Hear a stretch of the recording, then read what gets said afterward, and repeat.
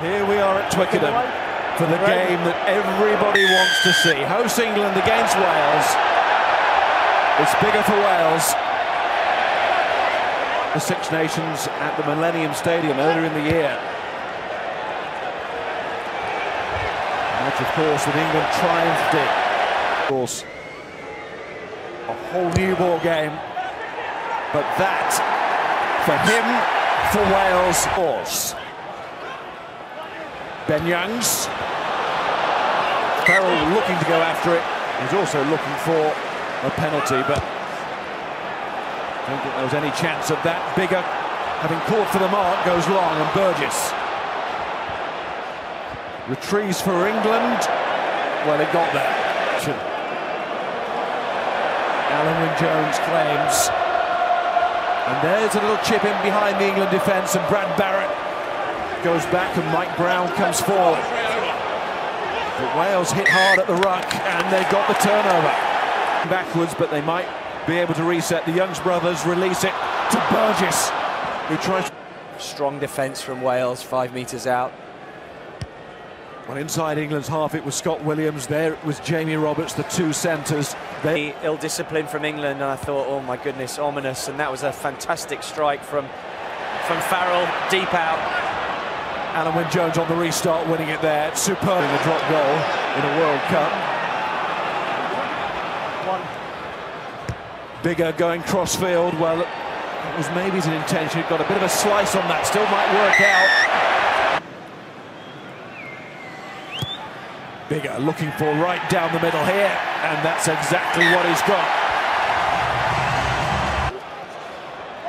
Ben Youngs. Jonny May just got in front of his man there, but that is brilliant play from Biggar. Comes off the hand. This time, Youngs went for the high ball and whoa, just owned it. Good block from North. You can see May in the background complaining, but absolutely fine. And Youngs being beaten just by the sheer speed and pace of the take. Big hit from... You might as well play it, see what they can do.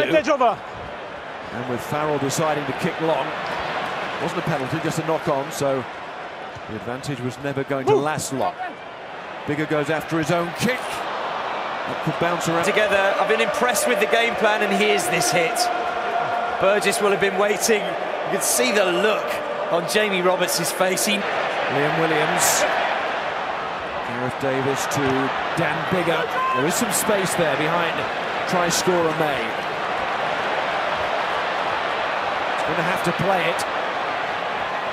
May is taking on Wales here, finding Mike Brown. He had to find Mike Brown there. Once He's responded in the best possible way. And Biggar now can kick into a position where Wales will throw into a line out inside. Referee the ball back in the number eight's feet. Wants it used, and Vunipola does.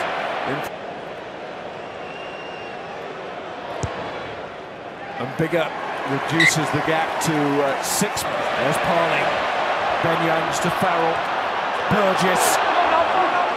Just about won by the Welshman. Did well. Stay, six. Dan Biggar. You can see why. Here comes Liam Williams, tries to go on the outside. Testing pop last November. And really blossomed. He's been threatened to do that for a while in Welsh colours, but he is the man now. Pounces on that. Marler pounces on Davies. So here's Biggar. Well done. those nights, isn't it? Yeah. Farrell. Not his best and Biggar. Farrell trying to make amends. Biggar. It's there again. It's almost inevitable every time.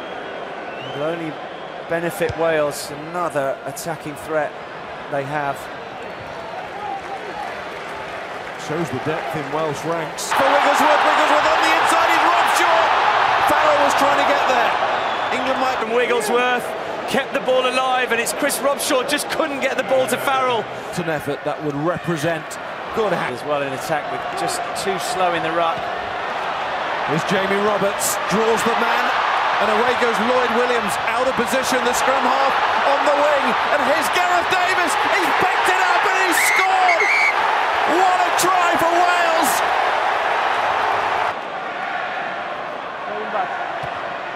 And Biggar, again putting it back on England under eight.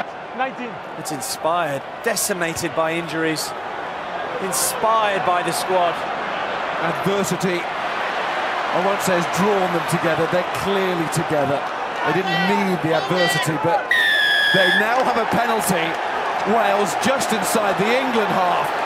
They are scrapping, they are fighting for everything, and they have the hosts rocking here. Huge pressure on England and their tactics. Has he got the halfpenny distance here? He's certainly got the adrenaline. Absolutely. This is going over. He'll never have a better moment to have more adrenaline in the body.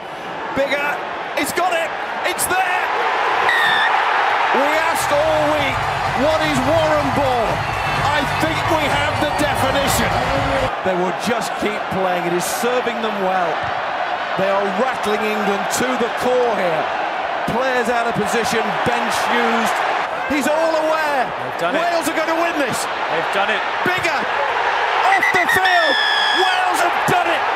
They have beaten England at Twickenham in England's World Cup. Clearly an emotional Warren Gatland there, and why not? was drained by the experience. He complimented his man of the match, Dan Biggar. He was absolutely immense. Sonia again. Have you been taking kicking lessons from Leigh Halfpenny? Look, it's, um, it's, it's just a huge, huge effort. I mean, for us to come here and England's home ground, World Cup, no one gave us a hope.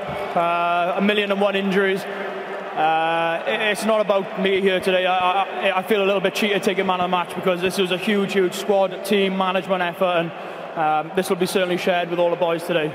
At 10 points down just after the break, did you still believe then that you could do this?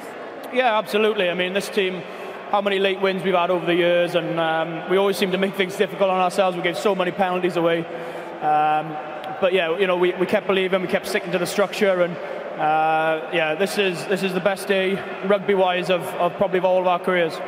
What were the emotions as Gareth Davies went over and you knew you'd had a, a simple conversion and it could well win you the game? That, yeah, that was the relief, the simple conversion. I didn't fancy it from the touchline, I'm sure they were that. Um, no, look, it was just, we kept going, we played some good rugby on times. I think both teams played some decent rugby and um, what a spectacle. I mean, this is coming out to that uh, before the before kickoff was truly special and something which will, you know, they Twickenham have done it amazing and um, yeah, just just hopefully we can push on on Thursday now.